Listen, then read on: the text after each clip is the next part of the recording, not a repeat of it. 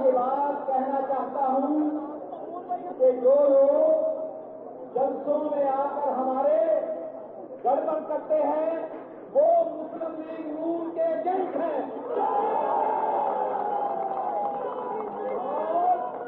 اور ان کا پتہ کر کے ان کو پارٹی سے نکالا جائے گا۔ یہ ہمارے پاکستان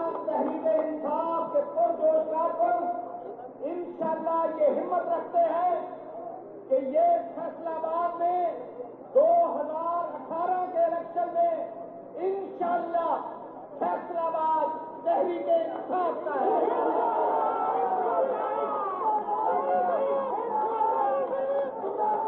اور عمران خان کا ہے۔ اور آپ دیکھیں گے کہ انشاءاللہ اگلے الیکشن میں دس فیصلہ آباد میں ایم ایل اے کی سیٹیں ہیں اور تیس ایم ایل اے کی ایم پی اے کی سیٹیں ہیں اور ہم انشاءاللہ یہ تیس سیٹیں جیتیں گے۔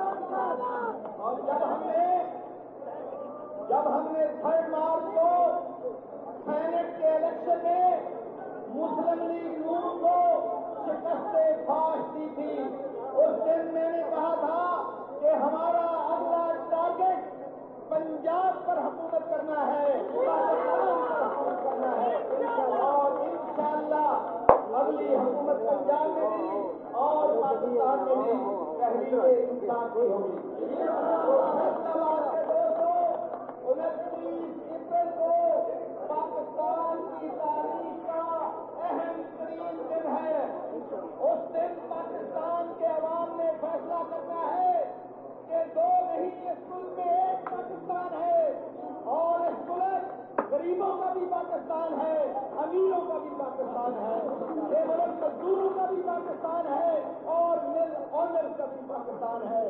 اور ہم اس ملک میں کاشتکاروں کے ساتھ کھڑے ہوں گے، ہم اس ملک میں مزدوروں کے ساتھ کھڑے ہوں گے اور ہم اس ملک میں جو پسماندہ طبقے ہیں، ان کے خلاف کھڑے ہوں گے۔ میرے بھائیوں آپ سب جانتے ہیں کہ پچھلے پینتیس سالوں میں ان حکومتوں نے پاکستان کے عوام کو کچھ نہیں دیا پینے کا صاف پانی کے نہیں دے سکے۔